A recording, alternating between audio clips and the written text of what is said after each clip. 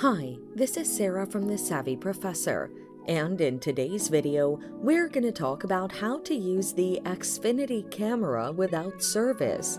Watch the video until the end to learn how to achieve this.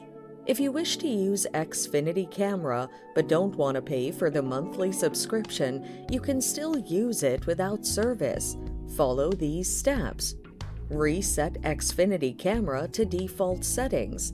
Find the reset button on the camera and press it for 10 seconds using a pin. Release the button. You should also reset the camera's power adapter. Connect the Xfinity camera to the home network. One of the requirements of using an Xfinity camera without service is a stable internet connection. To set up the Xfinity camera, do the following. Use the Y cable connector to allow the Xfinity camera to connect to the internet. Connect the camera to your network via Ethernet or Wi-Fi. Note down the camera's IP address.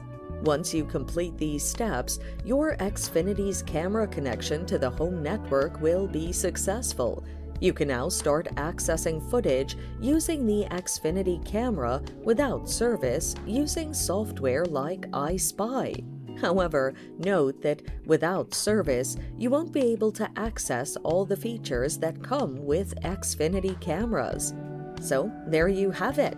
Using the Xfinity camera without service is that easy. Thanks for watching. Till next time.